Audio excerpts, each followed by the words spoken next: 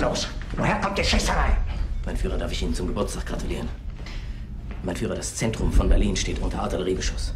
Granaten sind in dichter Folge am Brandenburger Tor, am Reichstag und bis hin zum Bahnhof Friedrichstraße eingeschlagen. Von wo kommt der Beschuss? Mein Führer, wir haben noch keine Meldung. Ich spreche gerade mit Koller. Koller, geben Sie mir Koller.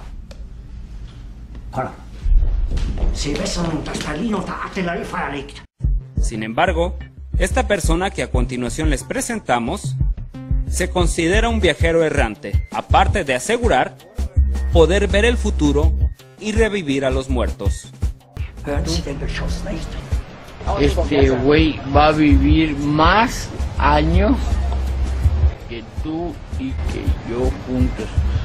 Ya no puedo, pero voy a sacar el fuá. Die Russen sollen eine Eisenbahnbrücke über die Oder haben. ¿Por qué? Porque tengo que dar el extra. ¡Fua! ¡Carácter! Voy y saco. El foie significa cuando sacas el carácter del estómago y dices, lo voy a hacer. Es que ya no puedo, ya no puedo, ya no puedo.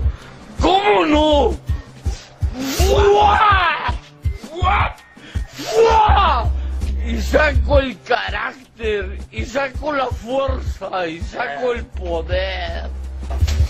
Eso es el Foie. Das sind ja nur zwölf Kilometer bis zum Stadtkern.